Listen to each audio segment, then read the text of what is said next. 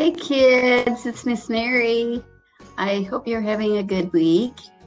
Tonight we're going to be talking about how God takes care of birds and how important that He thinks birds are.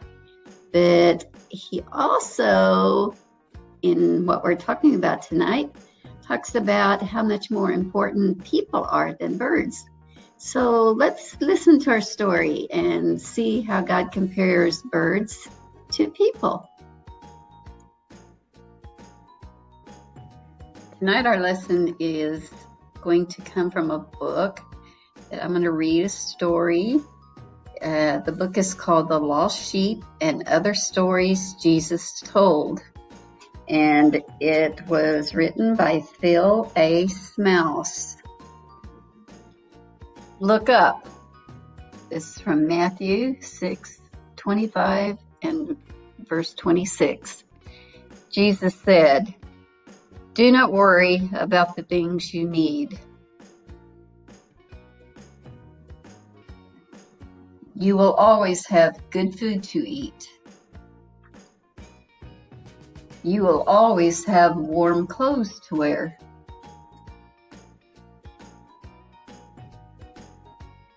Look up.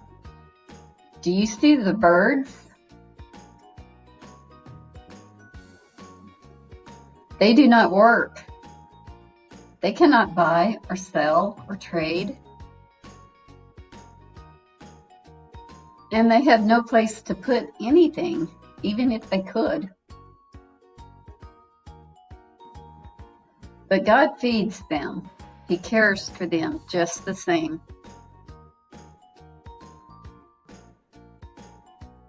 So why do you worry? God loves you more than anything else in the world.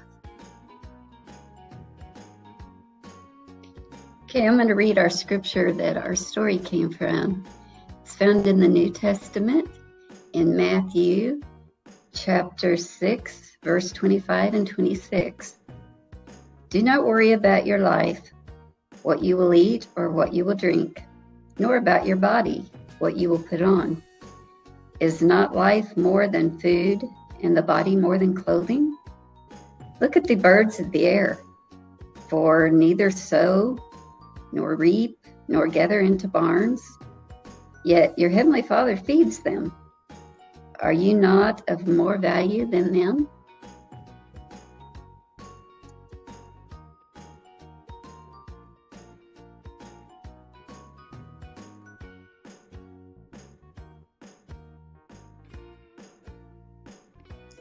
Okay, kids, that's our story. I hope you liked it and I hope you learned something from it. Um, God tells us that um, He loves the birds. He really does. And He takes care of them, He gives them everything they need. But He also tells us that we are more important than the birds.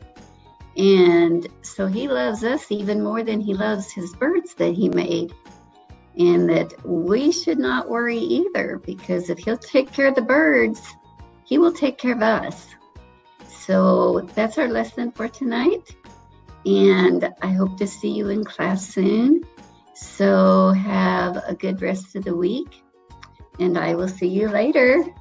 I miss you and I love you. Bye bye.